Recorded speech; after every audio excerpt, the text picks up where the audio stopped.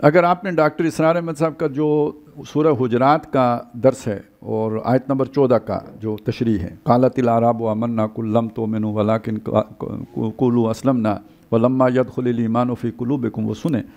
तो उसमें डॉक्टर साहब कहते हैं कि ये मुनाफिकों का बयान नहीं है। क्योंकि मुनाफिक का कोई अमल कबूल नहीं है। यहाँ पे अल्लाह ने फरमाया इन तो तील्ला व रसूल ला यलित कुम मिना मालकुम शैया तो मन, ये तो मुनाफिक नहीं है। अगर ये मुनाफिक होते तो इनके अमाल अल्लाह ताला कर, क्यों कबूल करता है? तो डॉक्टर साहब कहते हैं दूसरी तरफ़ अल्लाह खुद कह रहा है कि इनके दिलों में ईमान भी नहीं है। तो यहाँ इसकी तशरी में समझाने के लिए डॉक्टर साहब ने ये नई बात की है जो पहले से मौजूद नहीं थी कि जब आप कोई भी नंबर लेते ना एक दो तीन चार तो ये गोया पॉजिटिव वैल्यूज़ होती हैं। और दूसरी तरफ़ ये कि नेगेटिव होता है minus one minus two minus दरमियान में ज़ीरो होता है। वैसे आजकल के मैथ में शायद उसको भी पॉजिटिव जो है ना वो देते हैं, यानी काउंट करते हैं। लेकिन बहरहाल वो न्यूट्रल होता है। आजकल तो खैर न्यूट्रल का लफ्ज़ भी गलत हो गया तो वो जो, यानी ये एक ऐसी कैफियत है कि जिसको ना आप मुस्बत में ले सकते हैं, ना आप मनफी में ले सकते हैं।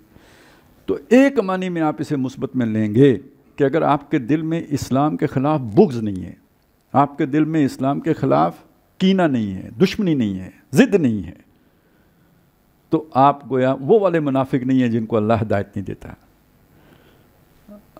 आप नासमझ ना वाकिफ़ कम इल्म जो है ना, उस वजह से आपके अंदर ईमान की कमी है। अगर इसके साथ आप जो आपको समझ हो उतनी इतात करना शुरू कर दें, जितनी दीन का आपको पता है तो अल्लाह ताला मज़ीद पढ़ते आप कर खोलता चला जाएगा। आपको ईमान की तरफ़ रहनमाई मिल जाएगी।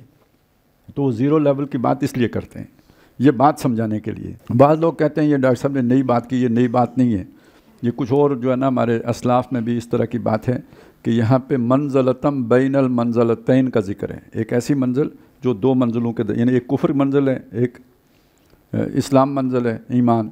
तो ये ना ईमान है, ना कुफर है। नफाक भी असलन कुफर ही होता है, हकीकत के अतबार से।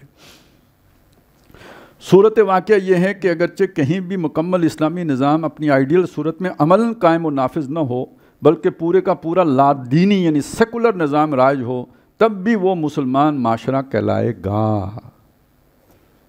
देखा ना वो तकफीरी सोच से कितनी मुख्तलिफ़ बात है जो यहाँ पे कही गई है। और उसके हुक्मरान मुसलमान ही तस्लीम किए जाएँगे।